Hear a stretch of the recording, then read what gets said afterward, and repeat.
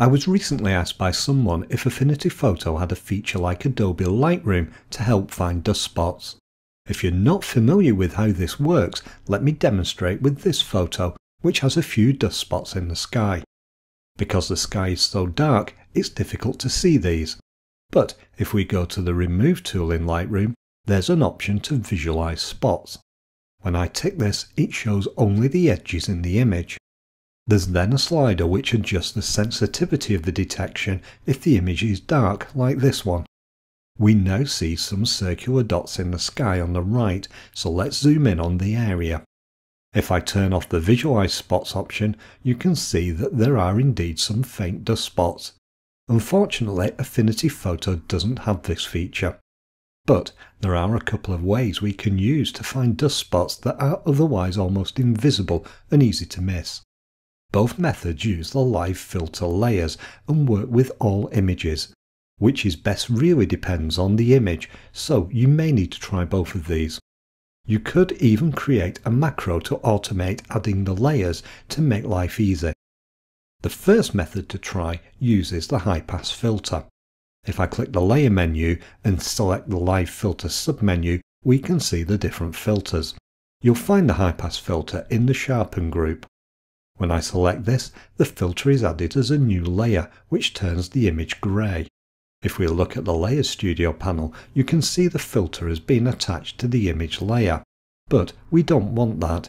Instead, we want the filter to sit as the top layer above the image, so I need to move it.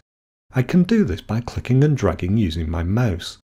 Now some Affinity Photo users may find the filter is automatically added as the top layer and you don't need to move it.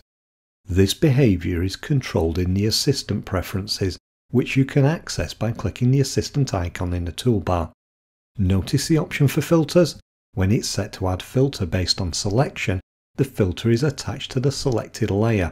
Setting it to add the filter as a new layer means it's added above the selected layer. Let's close that now and go back to the task of finding the sensor dust spots in this image. To do that, I just need to change the blend mode of the high pass layer to be linear light. This is a contrast enhancing blend mode and when combined with the high pass filter creates a sharpening effect.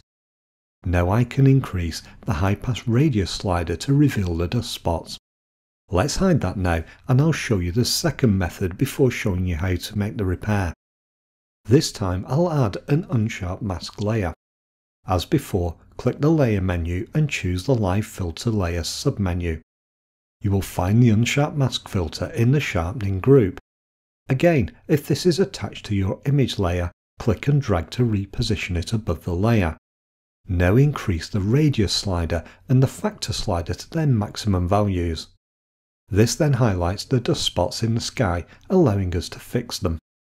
Affinity Photo has several tools we can use to remove the dust spots, but I'm going to use the inpainting brush.